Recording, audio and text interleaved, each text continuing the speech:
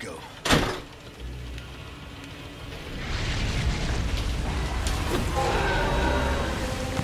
Yes, I killed that little sh.